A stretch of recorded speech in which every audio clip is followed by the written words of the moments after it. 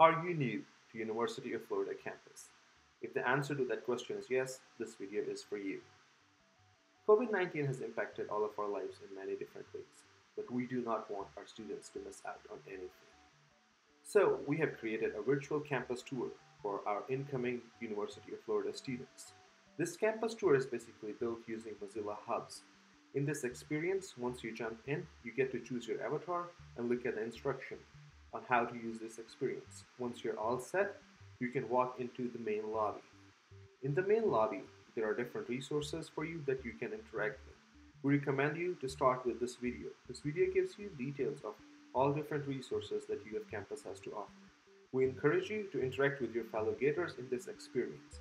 There are different rooms embedded in this experience that you can jump into. For example, the Reitz Union room. In the Reitz Union room, you can learn about different resources Reitz Union has to offer. You can also jump into the 360 immersive photos, which will show you how the actual building looks like.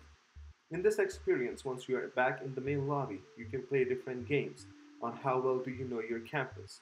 Last but not the least, you can jump into our feedback room and give us feedback on how was your experience.